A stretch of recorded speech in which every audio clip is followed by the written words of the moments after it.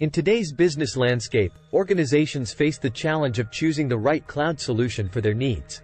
The two most common options are private cloud and on-premise cloud. While both have their advantages, it's important to understand the differences between them to make an informed decision. On-premise data centers refer to the physical infrastructure located on the premises of an organization. These data centers are built and maintained by the organization's IT team and are responsible for managing data storage, processing, and distribution.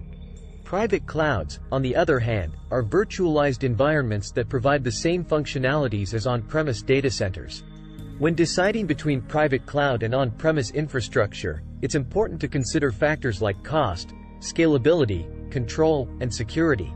Overall, businesses must evaluate their specific needs, weigh the pros and cons of each option, and choose the infrastructure that best fits their goals.